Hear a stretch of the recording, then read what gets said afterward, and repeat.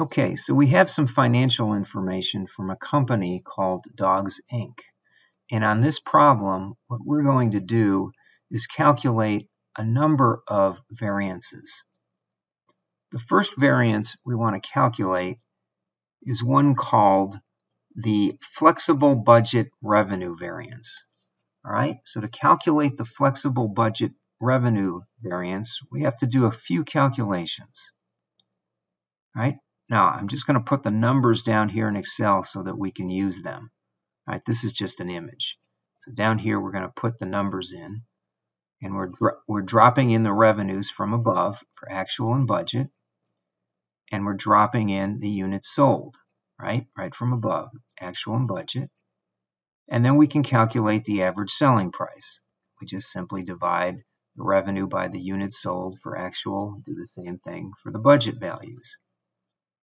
Right, now that we have that, we can calculate the flexible budget variance.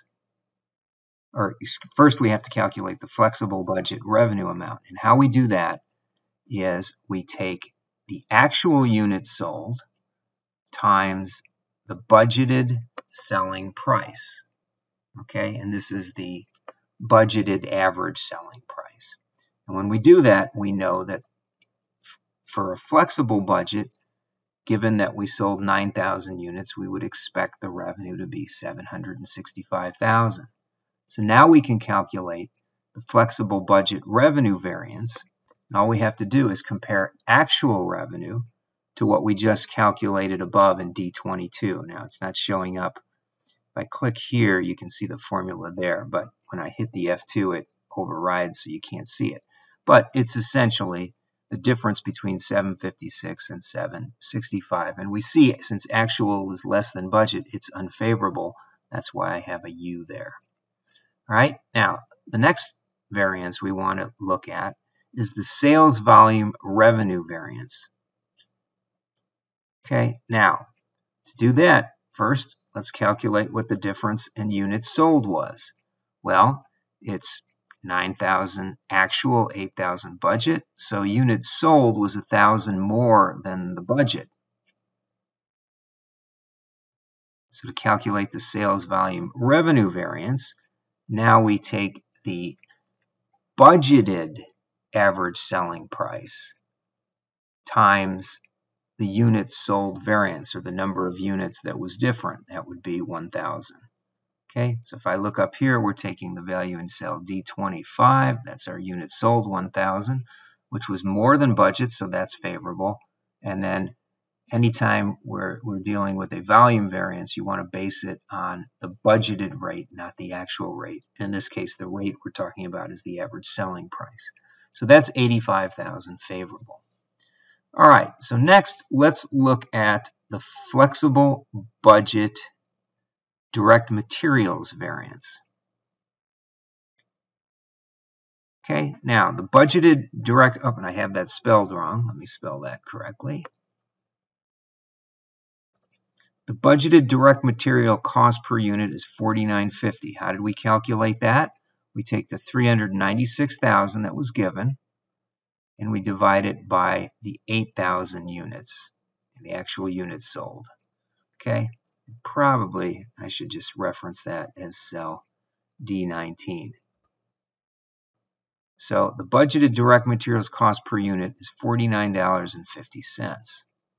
Now, from there we can calculate the flexible material cost allowed, which would be equal to the 9,000 actual units that we made times what we just calculated, the direct uh, the direct material cost per unit, 4950 times 9,000. Okay, that gives us 445,500. That would have been the flexible material cost allowed. So now we have to compare that, the 445, the 445,500, um,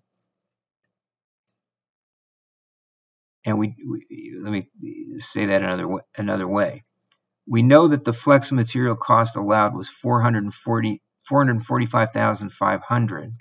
So now if we take D25 times D28, so D28 is the 4950 times D25, we get the budgeted direct labor cost per unit times the difference, times the favorable or unfavorable variance.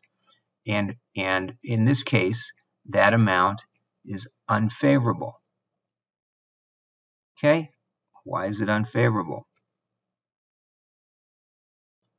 Because we were expecting to use less material. We actually used more material. Now we could also calculate that in a, in a more direct fashion if you prefer.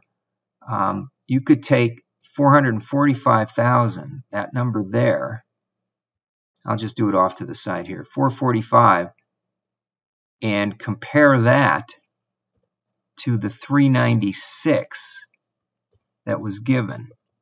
396,000 right there. So we expected to do 396, we did 445. So the result is a difference of 49,500, but of course it's favorable. So I guess technically we should take the 396 minus cell D29, get rid of it in here.